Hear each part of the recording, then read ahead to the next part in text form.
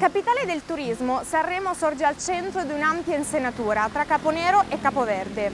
È da tutti ricordata come città dei fiori, ma sono in pochi a conoscerne le reali motivazioni. Tutto nasce dalle generose coltivazioni di garofani che resero Sanremo famosa in tutta Italia.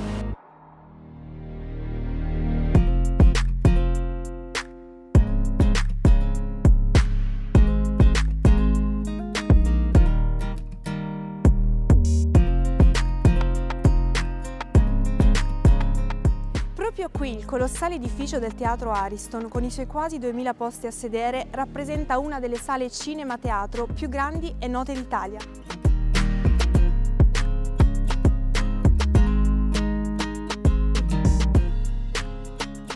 Innumerevoli sono i punti attrattivi della città. Qui ci troviamo in via Matteotti, detta anche la Vasca, la via principale più chic di Sanremo, quella dove si concentra lo shopping internazionale di alto livello.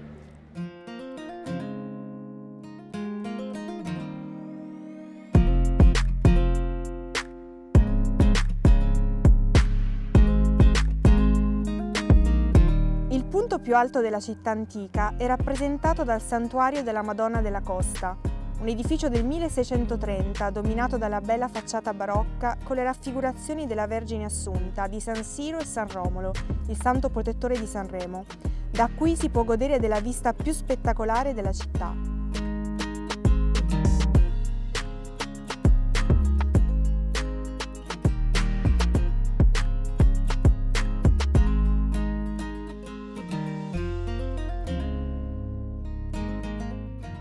Di Rally Dreamer siamo come sempre pronti per raccontarvi i chilometri di gara che vedranno protagonista il 22esimo Rally delle Palme, valido come seconda tappa della Coppa Rally di zona 2.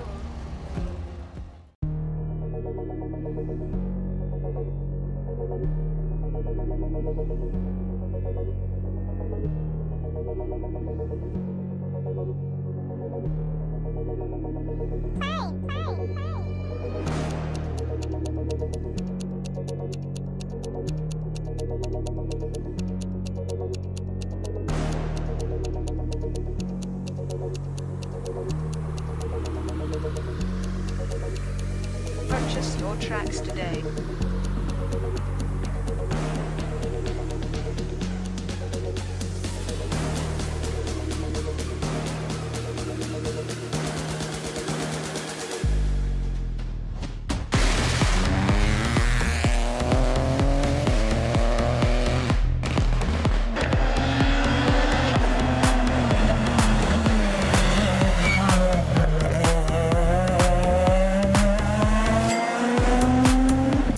Sono stati 77 gli equipaggi che hanno risposto alla chiamata dell'organizzatore del 22 Rally delle Palme, 13 Sanremo Leggenda, dandosi appuntamento sabato mattina nello splendido scenario del lungomare dei Capo Ampelio, da dove alle ore 14 ha preso il via la gara valevole per il Coppa Rally in seconda zona. Tre le prove speciali previste. Vignai, lunga 14 km e 230 metri, Ghimbegna, di 9 km e 250 metri, e Perinaldo, con i suoi 6 km e 150 metri. Tutte e tre da ripetersi due volte per un totale di poco meno di 60 km di tratti cronometrati. Sul primo passaggio della Vignai è Ferrarotti che si porta subito davanti a tutti, facendo capire che chi vorrà vincere dovrà vedersela anche con lui. Guastavino però non è lontano e mette il muso della sua Skoda molto vicino alla targa del Fabia del rivale. Solo un secondo di distacco tra i due. Terzo è Spataro a soli 2 secondi e 8 decimi. Sulla Ghimbegna Ferrarotti vince ancora e prova ad allungare, ma Guastavino, secondo, gli concede solo 3 secondi e 3 decimi. Terzo è Cortese, mentre Spataro è costretto al ritiro per un'innocua uscita di strada. Anche sulla Perinaldo i colpi di scena non mancano.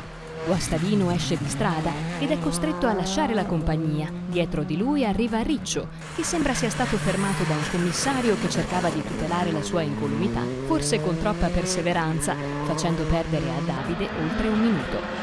Nel frattempo Ferrarotti vince di nuovo, contrastato solo da Cortese, che accusa poco più di tre secondi di ritardo dal primo. Ottima la prestazione del francese Magnou, terzo in prova con la piccola 208 R2B.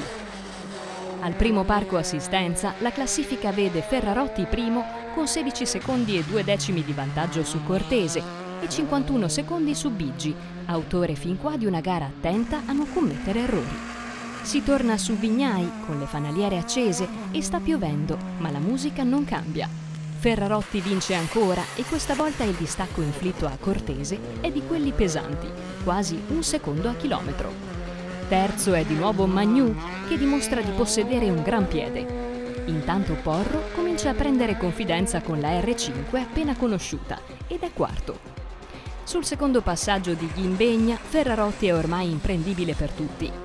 Dietro di lui, Cambiaghi mette la sua Renault New Clio in seconda posizione, a poco più di 8 secondi, e Porro, che comincia a carburare, è terzo con 9 secondi e 9 decimi di ritardo dal primo, assicurandosi una rimonta che lo colloca in quel momento terzo anche in classifica assoluta. Sulla prova di Perinaldo, Ferrarotti potrebbe amministrare, ma non si accontenta e la fa da cannibale andando a vincere ancora.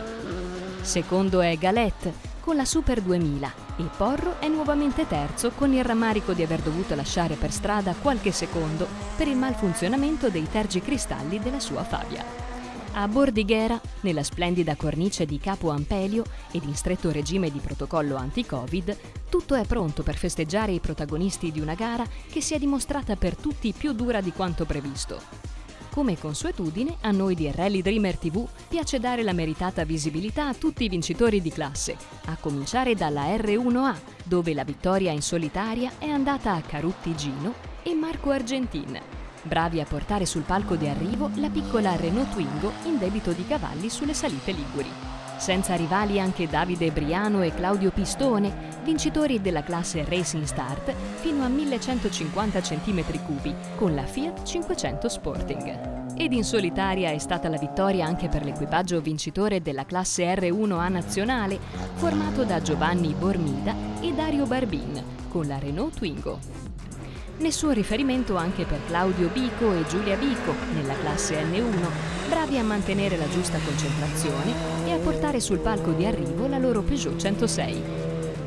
Dominio assoluto in classe A0 per l'equipaggio formato da Sergio Dami e Giuliano Baixin con la grintosa Fiat 600 Sporting. In classe A5 la coppa più alta se la sono portata a casa con merito Roberto Scapin, navigato da Federica Pagliero, con la Peugeot 106. Rimasti senza avversari dopo quattro prove speciali, Mattia Canapa e Giorgia Lecca hanno comunque continuato a tenere un alto ritmo di gara, vincendo la classe Racing Start fino a 1600 con la FIDA Citroen C2 bello da sentire il grido del motore della loro ormai datata Opel Astra GSI nel sottobosco Ligure, concreti Dino Gabbiani e Melita Siri nel vincere la classe A7. Metà classifica assoluta e vittoria di classe RA5N conquistata da Giovanni Pelosi e Ilenia Ussato con la Swift ibrida di casa Suzuki. Nella nutrita classe N2 se ne sono date di santa ragione fino all'ultima curva e alla fine a vincere sono stati Davide Melioli e Paolo Pontari con la francesina 1600 di casa Peugeot. In classe Racing Start Plus fino a 1600 cm3, l'alloro lo hanno indossato Walter Morando e Michele Cade Martori con la Citroen C2. Mattia Soldati con alle note Gianluca Marchioni si sono ben meritati il gradino più alto del podio di classe N3, alla guida della loro Renault Clio RS. Hanno forse cominciato a dare del tuo alla loro Ford Fiesta un po' troppo tardi, Comunque Ezio Soppa e Mauro Marchiori si sono aggiudicati la classe N5 nazionale. Tra le 1600 preparate di classe A6, a bagnarsi il cofano con lo champagne della vittoria è stata la Peugeot 106 Max di Andrea Bernardi con alle note Chiara Battistelli. Sedicesimi assoluti e primi di classe R2C Flavio Brega e Marco Zegna hanno sicuramente centrato l'obiettivo con la loro Peugeot 208 Rally 4. Nicolas Cianfanelli e Maurizio Moroni non hanno deluso le previsioni ante gara che li i protagonisti con la loro Renault Clio, primi di classe Super 1600 e noni assoluti. In classe Super 2000 alla fine l'hanno spuntata Galette e Giancarla Guzzi, che hanno messo di traverso la loro Skoda Fabia in ogni dove, aggiudicandosi anche la settima posizione assoluta ancora in grande evidenza l'equipaggio formato da Kim Daldini e Gea Daldini, che continuano a stupire con la loro Renault New Clio, vincendo la classe R3C e piazzandosi sesti assoluti.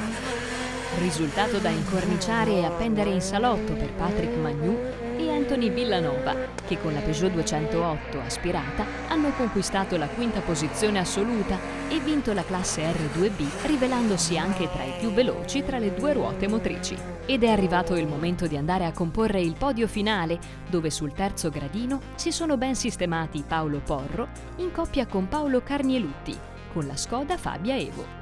Eh, è stato tutto un divenire perché fino a stamattina non l'avevo mai, non l'avevo mai provata, quindi metri l'ho fatto lo shakedown. È stato bello e adesso cerchiamo di migliorare, anche l'abbiamo provata in tutte le maniere anche con la pioggia. Vado! Secondi assoluti Elio Cortese e Domenico Verbicara, anche loro su Skoda Fabia. È una grande emozione, alla partenza non sapevo dove saremmo andati a finire perché sono due anni che non corro, tra l'altro e le ultime gare negli ultimi anni l'ho corso sempre in Francia, con ottimi piazzamenti. Quindi ritornare qui e fare un ottimo risultato per noi è una vittoria, già esserci una vittoria, quindi secondi ancora di più. Volevo ringraziare l'organizzazione perché hanno fatto un gran lavoro eh, per aver riportato questo rally a disputarsi.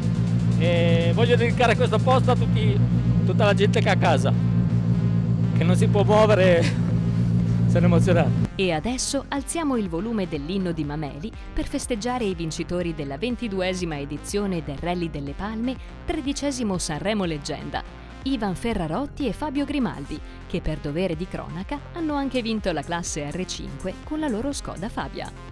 Ma siamo, siamo contentissimi, sinceramente è stata una bella gara, dura, eh, comunque condizioni diverse, sia asciutto che bagnato, è un ottimo test per l'Elba la settimana prossima.